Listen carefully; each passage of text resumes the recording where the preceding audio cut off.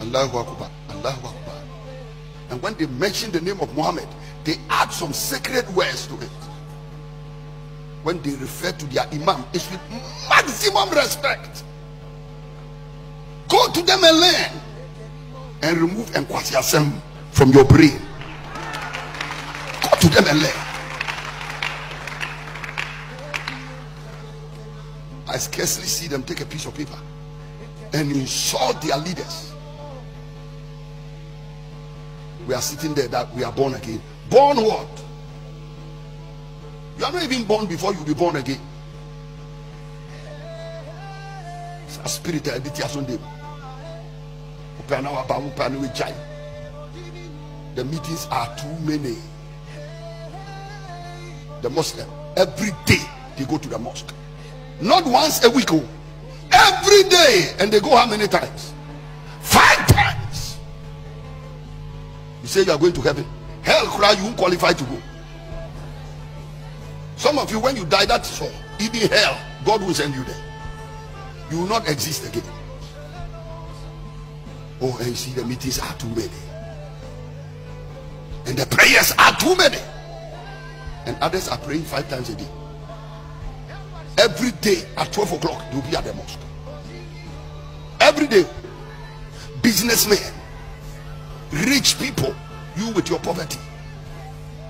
Oh, the Muslims are the people you see, rich man, contractor. He will park his car and go and kneel down and bow down with common members, commoners. And I don't think they also enter the mosque with their shoe. I'm a preacher. Why are you not clapping?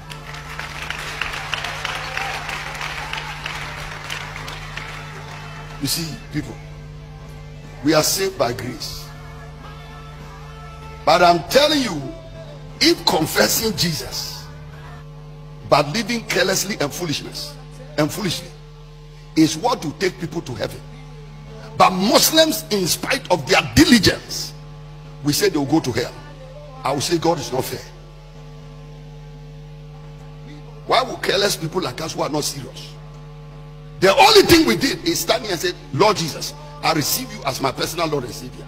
And that is all. We are going to heaven. And somebody else who is so diligent and applies themselves to their religion with all committed commitment, they would rather die and you say they are going to hell. Keep fooling yourself. Keep, keep, fooling yourself. Hey, Mandela, you see the way you cross your leg, don't change it too. But I'm telling you, in the mosque, you can't do this.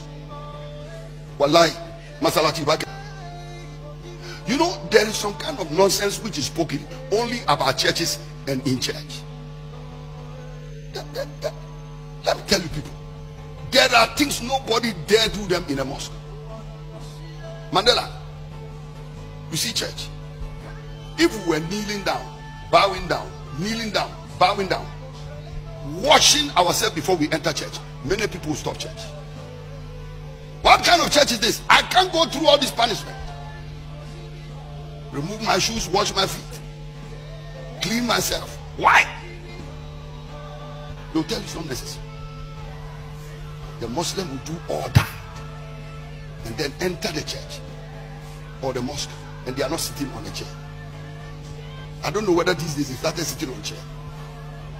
Matt Bag was admonished of God when he was about to make the tabernacle, and God told him, See, said he, that thou make all things according to the pattern that I have showed you. So, watch this. Everything you see here should be a reflection of what is in heaven, in my father's house. So, if you don't know what is in the father's house, you look at what you can see on earth. So, Pearl, the challenge is this. All of you are looking at me as your pastor, senior pastor. I must look like Jesus, the high priest in the Holy of Holies in heaven. That means I cannot stand here with so many faults and tell you that to err is human. Because the high priest in the Holy of Holies in heaven, in the Father's house, is not a man of many faults. In fact, he has no fault. I must work to remove every fault and stand here blameless instead of because you see when i stand here and i'm full of moral problems i'm giving you a wrong picture of who the high priest in heaven is. Because you see you the pastor you are the nearest thing to god in the imagination of the people. So what they see that is the idea of what god is to them is the same way in your family in your business. You the family head you are the nearest thing to god in the mind of your children. When your children look at you they see a picture of god. So now when we